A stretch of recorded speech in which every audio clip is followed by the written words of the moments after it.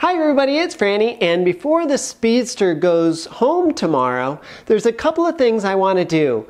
I want to get to the transmission and I want to change the fluid in the transmission today.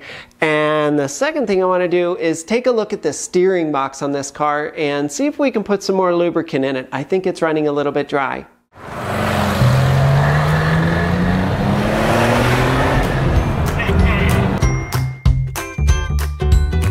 If you hear a bit of background noise, what you're hearing is the new heater up there. So we got a new heater for the garage. I'm very excited about it. It's going to allow us to work through the winter a bit. It's 240 volts and it does take it a couple hours to warm up the garage, but it's going to make it really, really comfortable here in, here in the winter.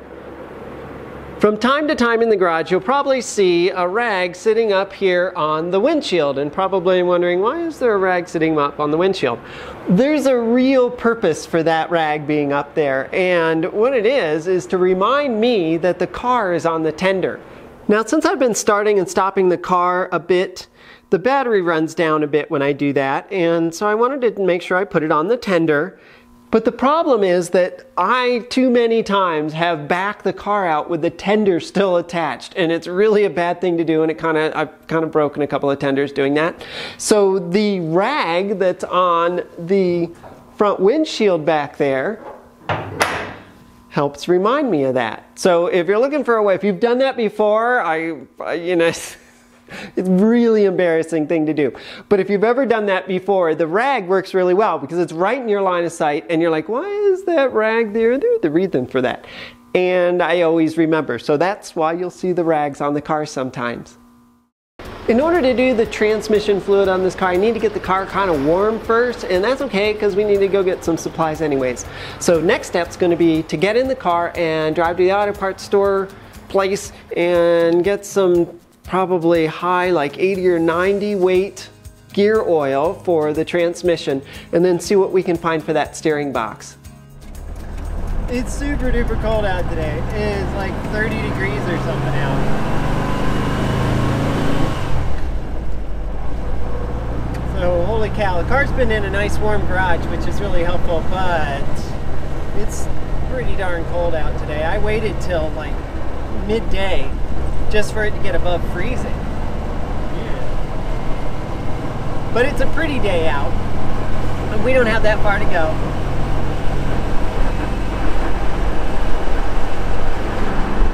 Boy, this is just a, such a lovely car to drive. I love 356s. There's the absolute essence of what it's like to drive a car so manual, no electronics, no nothing. It's just you and a bunch of bits of metal, and that's it. It's pretty sweet.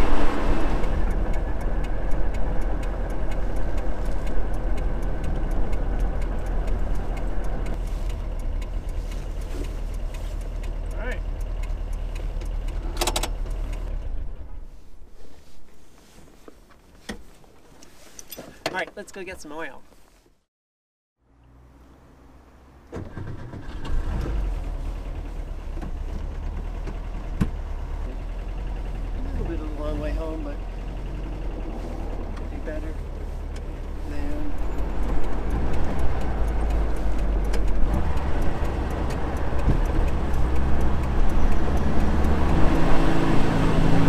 it's funny. It, the transmission is loud, rumbly, but it shifts really well, which that's really strange. But then I had it pop out a third a couple of times too. So uh, third gear must be a bit worn as well. But it's funny, second is usually the one, because that's what I'm in right now, and second's the one that gets used all the time. So usually it's the one that's a bit worn out. It is on Ava, and the synchros go on them. One second gear downshifting too hard. And this car downshifts great in the second. Really doesn't even need to be double clutched. That sounds good. No dead spot either when you when you come out of a gear and you get into the next gear. There's no dead spot, so that feels good. I think the engine's good.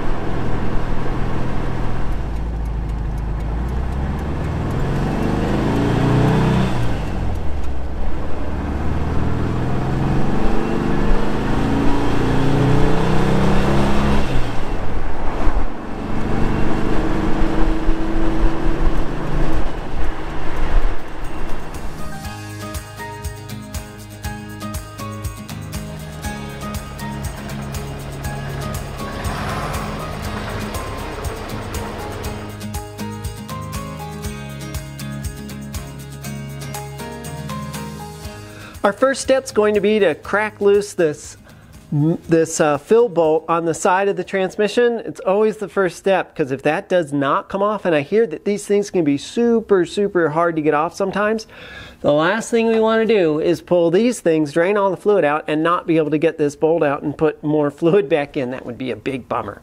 So it's right here, this. Oh, sheepers, it's loose. Okay, that's not bad. That was easy. Usually, from what I've read, that these things can be such a bear. I had a big old wrench already and it just was almost loose, almost hand tight. So, all right, next are going to be to get these guys loose and start to drain what left, what we've got left in the transaxle. I'm going to crack this one loose first. If we can get everything out from this particular one, that'd be awesome.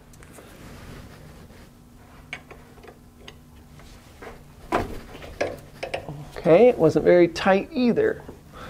Okay, I think it's pretty much there and there we go.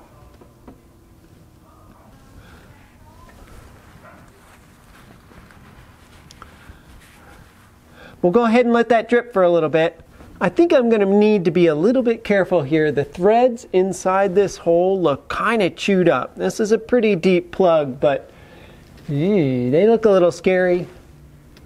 It looks like somebody might have even put a helicoil in there at some point. It's hard to tell. Any rate, just so we don't have any issues, I'm going to put a little um, a gasket, some Permatex on this to coat these threads a little bit, and hopefully that'll help it seal a little bit as well. And go ahead and put our plug back in.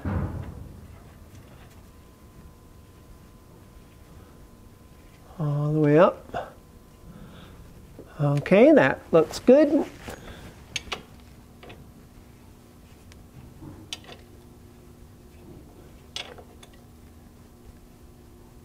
I'm really careful with this. And that's all I dare to do on it. With the condition of the threads on this plug, this one has a washer on it. It's a little scary, and I'm pretty certain we got the vast, vast majority of the fluid out. I'm not going to take this plug out because, yikes, that could be a real problem.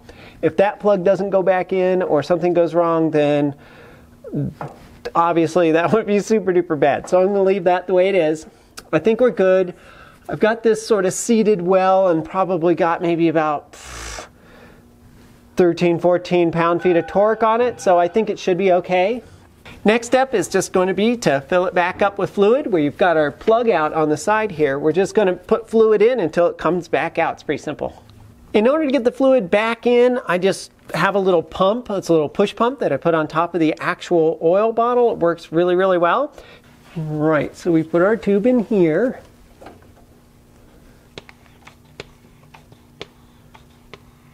There we go.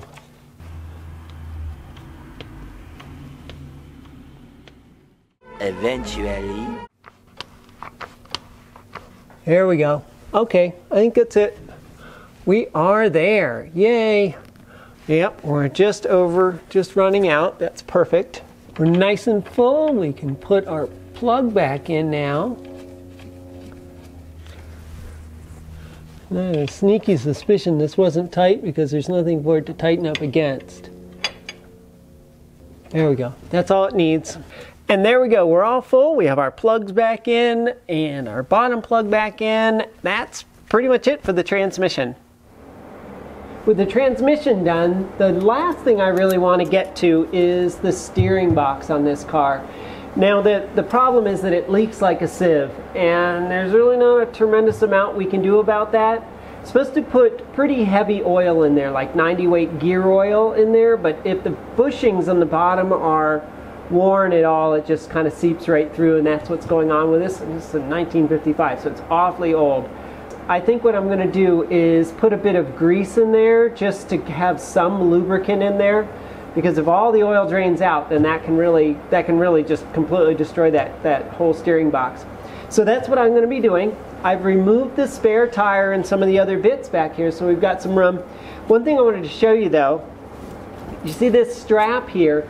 This is the strap to hold in the spare tire. Now, I also noticed that it is cloth, right? It's like a greenish cloth. On the cabriolets and the coupes, those cars would have a leather strap to hold the wheel in. But this is a speedster, so it has a cloth strap. And I suppose you could argue that that's weight savings or something, but also, of course, the speedsters were the cheaper car back in the day. Obviously, they're worth more than the other cars now, but back in the day, this was the cheapest car. So I always thought this is kind of cool, this cloth strap here. It's kind of neat. So, all right, so all we have to do is pull up our rubber mat here as well. We'll just fold it over there. We're getting into this trapezoidal box that's here. So there's four screws around here. We're going to take this off and get to the steering box. All right. Remove this cover.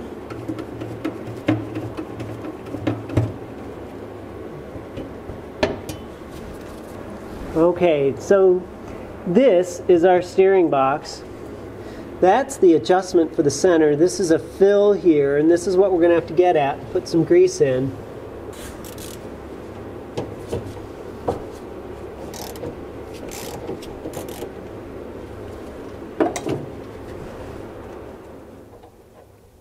Alright, that deep plug. Yep, we're pretty low in there. I'm going to add a little bit of grease, and then I'm going to add a little bit of oil.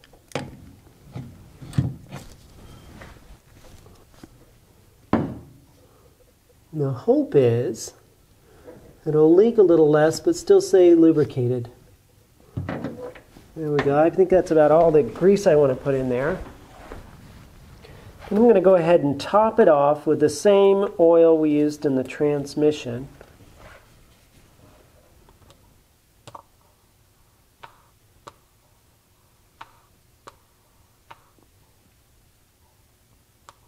Just to bring it up. There we go. That looks pretty good. Go ahead and put our plug back on.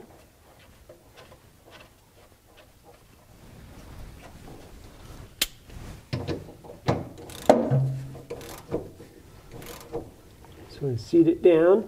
Don't want to go crazy with it. There we go. Now this guy here is an adjustment to adjust center.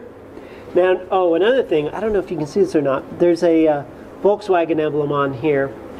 It's my understanding that in 1955, and I could be wrong about this, but I think that in 1955 these cars shared their steering box with the Volkswagens. So that's a Volkswagen steering box. I believe it's pretty much the same one as the Beetle. Okay. So the way this works is you loosen this nut, this catch nut here, and you can tighten down the steering, the center portion of the steering with this and run it down a little bit and it should tighten the gears up but I think this one's all the way at its end. And that's how you take the dead spot out but it feels like that one's pretty much all the way at the end. That's too bad. So this is this adjustment is just past where it could be. So what it does is that it runs these gears together to take the dead spot out in the very center but there's just nothing you can do. It's past its adjustment. That's as far as it's going to go. That's a bummer. All right. Just what happens when these things get old. There we go.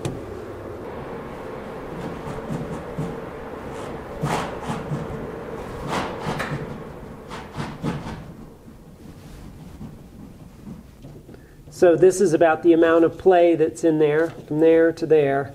It really shouldn't have any play at all, just kind of a bummer. And while you're in here, you know, you definitely want to check the condition of this rubber bit here because this is the steering shaft from the steering wheel itself and this is the steering box obviously. So if this goes, then it could be very, very bad. You will not have control. You won't have any steering at all. And these things have been known to rip and tear apart after 40 years. So it's good to see that this one's been replaced at some point and looks pretty good. So it looks solid. The tie rod ends here all have lots of grease around them, which is good. They've been serviced lately. And everything else looks really good. This uh, reservoir over here is for the brake fluid. That kind of makes sense, right? But actually, it's not from a 55. The 55 would have had like uh, our car does too, a single circuit brake system. So it's a single point of failure. They're actually kind of dangerous. So it's a single master cylinder, single whole thing. And the reservoir sat on top of it and it was down, buried down there. You actually almost had to get under the car to check it out. So a lot of people have replaced this master cylinder with the Volkswagen Beetle dual circuit master cylinder. And when you do that, it comes with this sort of um, external tank here for the brake fluid. And anytime you see that in one of these cars, that's been done. Finally, I'll just go ahead and replace our access cover.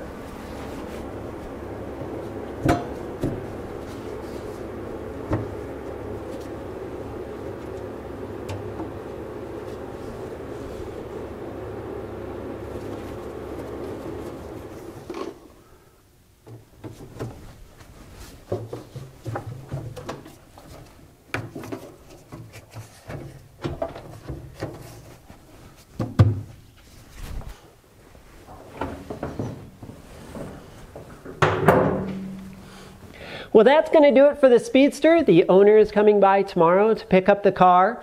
So I hope you enjoyed the episode, and I hope you enjoyed the whole Speedster series too. It was a lot of fun. This is a pretty cool car to work on. If you did, please give the video a thumbs up. Questions or comments, go ahead and leave them down below, and I'll get right to them. If this is your first time to the channel, please consider subscribing. Hit that little bell notifier thingy my bobber next to it so you can be notified next time we put out videos. And we put out lots of kind of cool videos, these vlogs and drives and such. So thank you so, so much. And a special thank you to our Patreon supporters as well. Okay, so until next time, safe travels. Bye.